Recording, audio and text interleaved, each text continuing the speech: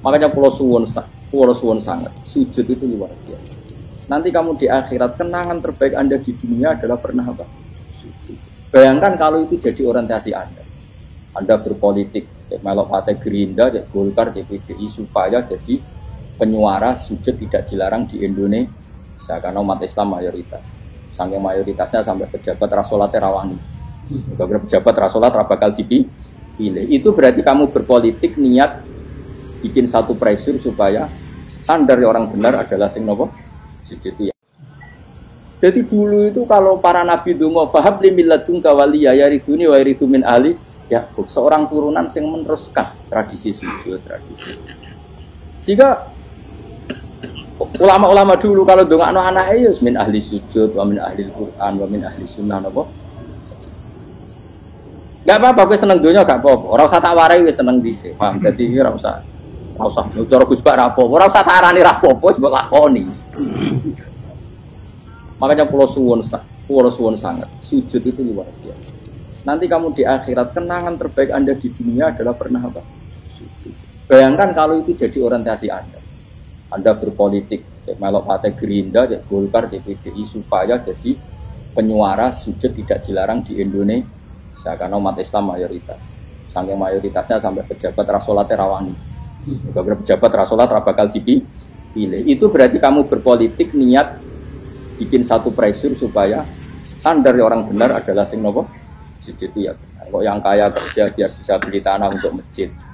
Yang orang miskin ikut menopang supaya masjid itu berdiri. Semuanya orientasinya menuju apa?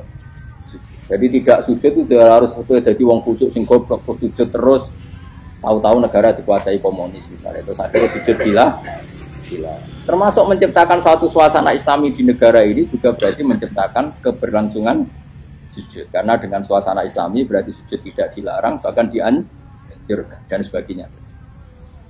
Ini penting saya katakan, karena kalau tidak diingatkan, rumet. Nabi itu pernah punya anak dalam.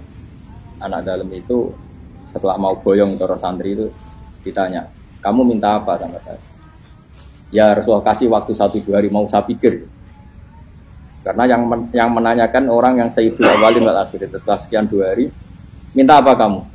Jalur anda gak tanggung-tanggung. As'alu kamu kota kabil jannah. Saya minta jadi temanmu di surga. Oh, Nabi kaget tuh. Kok kalian diwarai uang? Buatan, buatan yang tersing marah. Nabi, kok Nabi diwarai uang? Enggak ada ya. Terus, kenapa kamu minta itu? Kata kata tadi, kalau saya minta dunia itu nanti zailah. Dunia itu pasti hilang. Faniyah pasti hilang. Maka yang abadi adalah saya jadi temanmu di surga. Tapi apa kata Rasulullah Jabe? ini ala nafsika bikasrotis sujud. Ya sudah kamu bantu saya, kamu memperbanyak Kayak apa? Nabi pun mintanya ini ala nafsika bikasrotis Saya bantu untuk menolong diri kamu, kamu memperbanyak apa?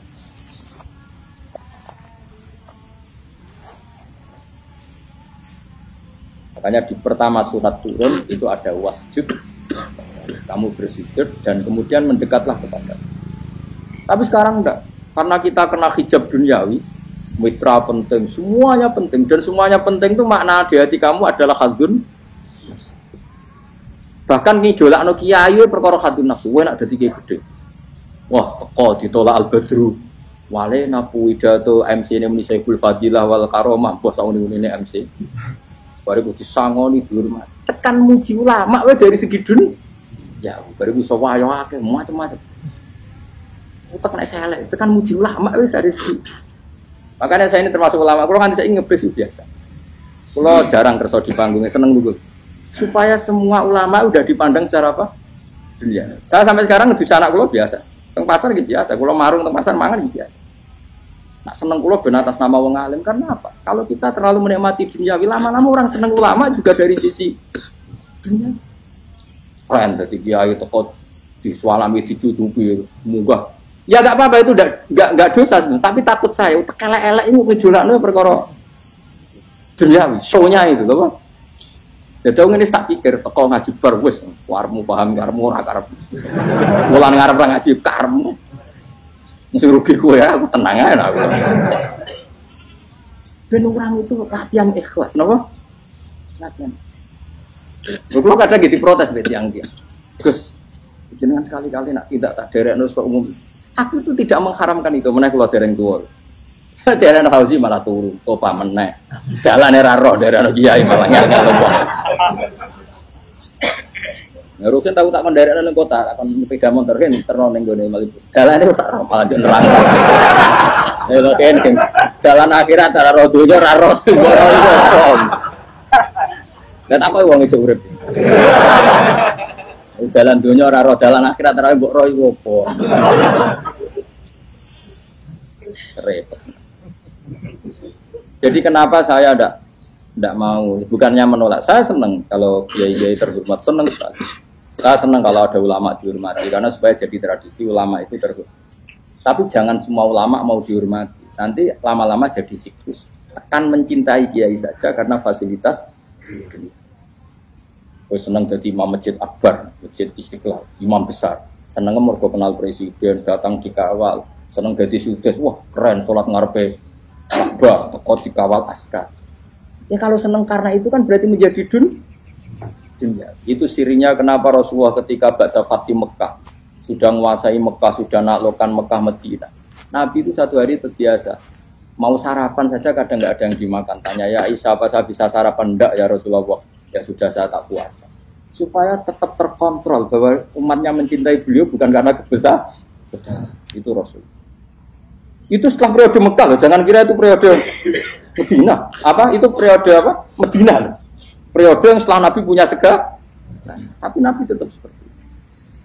Kenangannya Aisyah sebagai istrinya apa coba? Dia cantik, cantik sekali. Aku tahu jajal turun ngarepin Nabi terlentang. Ya Nabi tetap sholat.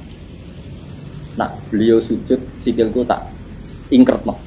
Nah, beliau ngatet tak lonjor meneh. Jadi Aisyah wa ana muqtaridotun bene adi. Turu terlentang. Jadi coro ya sudah terlentang.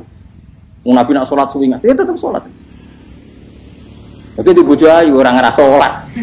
Bojo elek ora sholat bojo elek ya amin junub sekali orang kena gue contoh.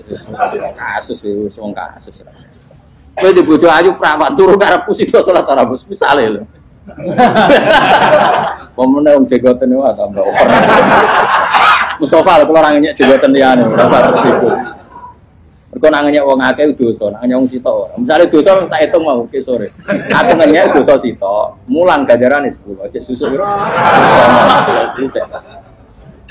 Sarples ngerong dagang cek. Cek badi. Iku kan adene ra ikhlas. Ora ra ikhlas aku yo ra ikhlas ilmuku, malah lara. Malah rokok ping 13. Makanya ini dipikir ya, saya ulang lagi, harus dipikir secara matang-matang. Bahwa kita tidak boleh terlena oleh kehidupan di menjadi bodoh kan Anda minum teh, kemudian anak Anda jatuh di pinggir Anda. Nah, sekarang menyangkut mukjizat. Ini masih tentang ayat ini, nanti sampean tahu logikanya. Tak beda, tidak jawab satu-satu aja. Karena iman sarannya harus tahu. Pak Lam, Pak Lam itu tak tahu. Pak Lam anak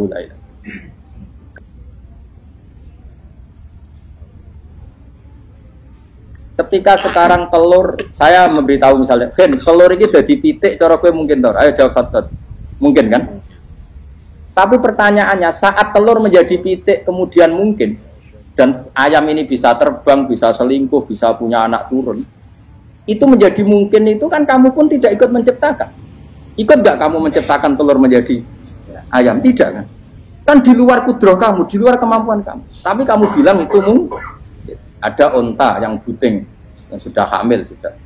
Kamu bilang nanti onta ini mau punya anak dan anaknya nanti bisa jalan seperti induknya. Kamu katakan apa? Mungkin. Tapi saat anda katakan mungkin, anda ikut menciptakan enggak? Enggak kan? Tetap itu kudrohnya Allah. Tetap itu. Maka para nabi itu tidak tahu bedanya antara onta yang keluar dari indukannya dan keluar dari batu. Itu syaratnya jadi nabi, syaratnya jadi wali. Nah, saya kira nabi. Makanya Nabi Soleh ditakoi, bukti nak kudrohe pangeran ubi. Lah kamu minta apa kata Nabi Soleh?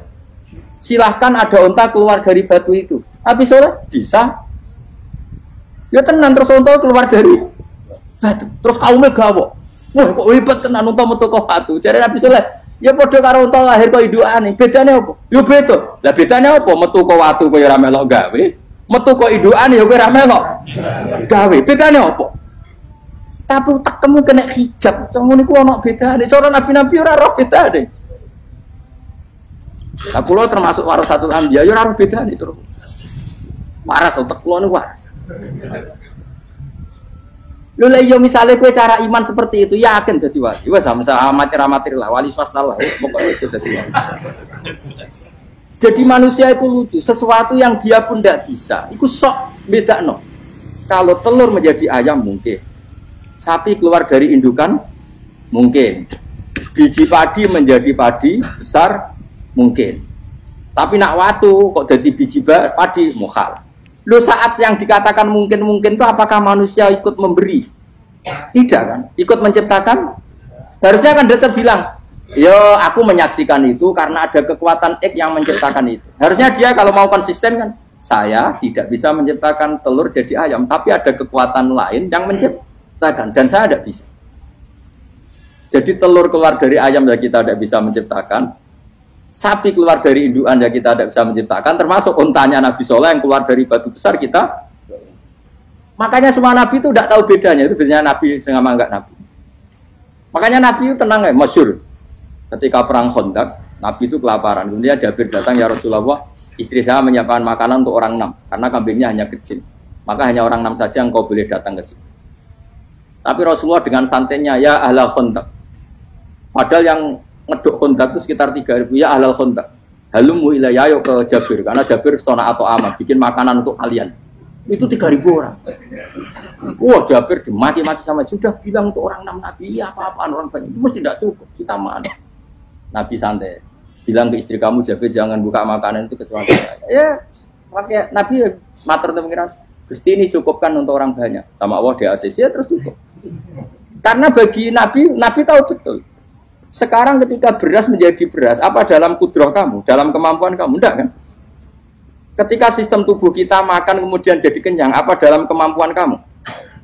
Kue muni mangan maknane sego bolebokno mulut, terus kue darani punya kemampuan makan.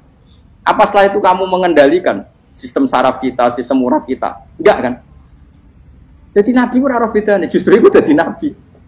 Karena dia nggak pernah terjebak, Nabi nggak pernah terjebak oleh yang dili, Makanya cara pangeran wa ma min dabatin fil ardi wala ta'iri yatiru bijana haihi illa umamun amsalukum. Ketika orang kafir minta bukti kudrohe Allah iku apa? Kanjeng Nabi didono manuk. Lah manuk terbang bukti kudrohe Allah. Ya biasa mat manuk terbang, wis suwe nak manuk terbang. Bukti kudrohe ning ndi? Iku teke wis semper. Lha bukti kudrohe ya kowe ra iso gawe kan? Tapi maksudnya wong kafir bukti kudrohe pangeran unta kok watu. Lah bedane apa mau hale unta kok watu ambek kok ane, bedanya apa saja? Wong ibu unta yang ngerasa gawe. Apa ibu unta bisa menciptakan anak-anak unta? Kan tidak bisa juga. Manusia juga ada. Jadi itu wes cukup jadi kudroy. Tapi manusia angger barang sering terjadi darani mungkin. Maknanya mungkin, dek ini yang menentukan mungkin atau tidak. Padahal zaman mungkin pun dia ada ikut menciptakan. Ini lenggil. Makanya itu kenapa Allah akhirnya bikin mujizat supaya orang itu ingat kedasatan kudroy Allah. Sebetulnya mujizat itu tidak penting. Maksudnya tidak penting tadi untuk iman sebetulnya tidak perlu mujizat.